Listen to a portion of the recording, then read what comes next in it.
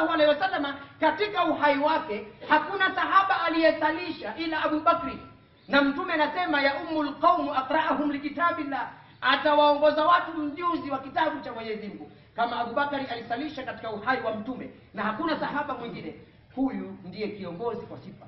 Kwa hiyo ziliorodheshwa sifa na vigezo.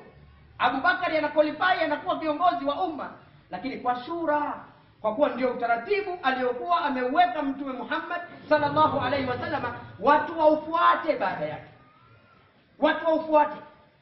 Na ndivyo iko hadithi ndefu, lakini katika maeneo ya hadithi ile Mtume sallallahu alaihi wasallam anazungumzia kwamba itakapokuwa mambo yenu mnaendesha kwa shura, mtakapokuwa wa, wa, wa, wa, na shura ndio inayochukua nafasi katika uendeshaji wa mambo yenu, Mtume sallallahu alaihi wasallam anasema al-ardi khairun lakum min batniha, fa dhahru al-ardi khairun lakum min batniha, mgongo wa ardhi ni bora kuliko tumbo lake. Maana yake ni maana yake ni kwamba hayatukum khairun min mautikum, kuendelea kuishi yeye ni bora kuliko kufa kwenu. Kuwa juu ya ardhi mkiwa hai ni bora kuliko kuwa ndani ya makaburi kama mambo yenu mtayaendesha kwa shura. Lakini la tatu katika shura ambalo anatueleza mtume wetu Muhammad sallallahu alaihi wasallam, la tatu katika katika shura ni kwamba liilami bibarakati lmushawara, ni ili sisi tutambue kwamba ndani ya kushauriana kuna baraka, tutambue kwamba kuna baraka katika kushauriana.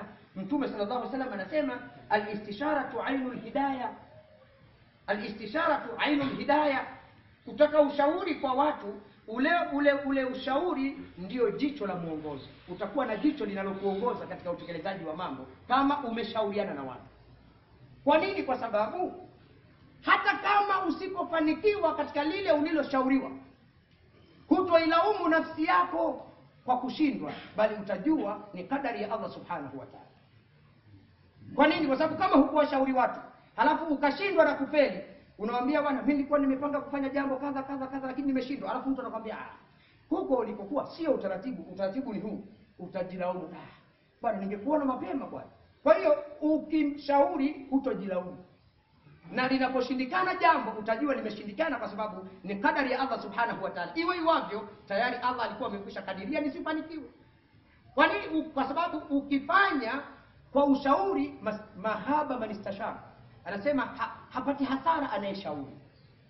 Hivi ndivyo mtume alivyofundishwa na kuelekezwa, na kwa haya tuliyoyasoma kwenye hutuba yetu yanamfanya mtume wetu Muhammad sallallahu alaihi wasallam kuwa kiongozi bora katika Uislamu. Hakuna dhana ya udikteta kwamba kiongozi lazima awe dikteta. Katika Uislamu hakuna, hakuna. Haya ninayoyasoma ni mafundisho anayoelezwa mtume walau kunta faddan ghalidha alqalbi lamfaddu min hawli, kama ungekuwa una maneno makali.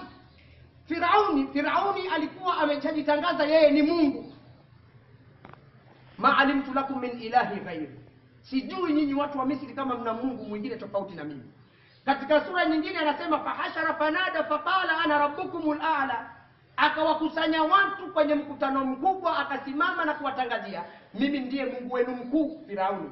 Pamoja na hilo, Mwenyezi Mungu anamwambia Musa, idhhaba ila firaun wa qula lahu qawlan layyina, nendeni kwa Firauni, lakini semeni naye kwa maneno laini.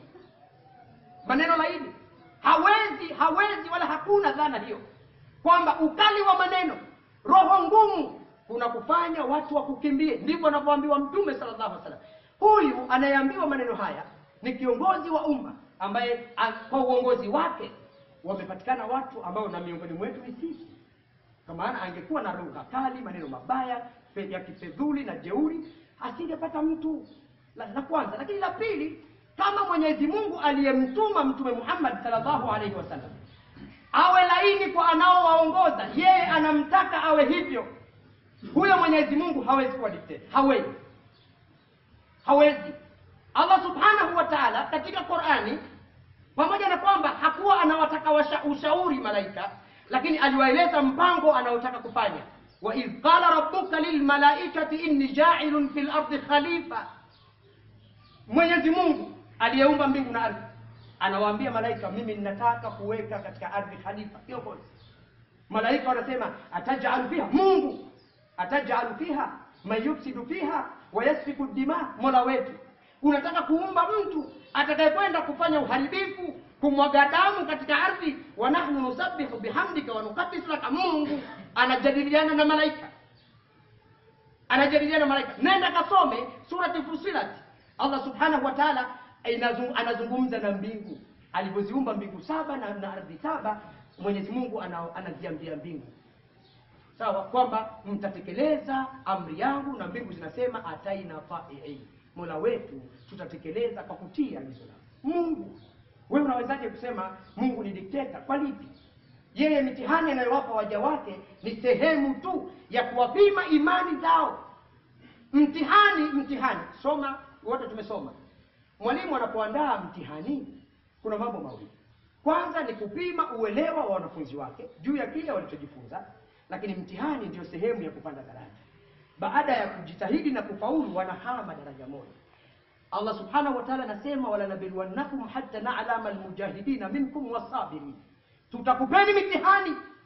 Hiyo mitihani ni kipimo cha kujua wangapi wa, ni wavumilivu kwenye mitihani na wangapi ni wenye juhudi kubwa katika dini. Mtihani ni kipimo sio adhabu. Sio kwamba mwenyezi mungu hawapendi waja wake Kauli kama hizi hazifai kumlinganisha Mwenyezi Mungu na viongozi wa kibinadamu ambao wenyewe hawawezi kukubali kusifiwa kwa sifa za udikteta. Wewe unawezaje kusema Mwenyezi Mungu ni dikteta? Ni kulikosa maarifa na uwezo wa kujua namna Allah subhanahu wa ta'ala alivyo na alivyowafunda viongozi. Hadha wasalli wasallim ala imami lmursalin wa qaidi lghurri lmuhajjalin faqad amarakum llahu bisalati wassalami alayhi haithu qala azza qailan alima إن الله وملائكته يصلون على النبي. يا أيها الذين آمنوا صلوا عليه وسلموا تسليما.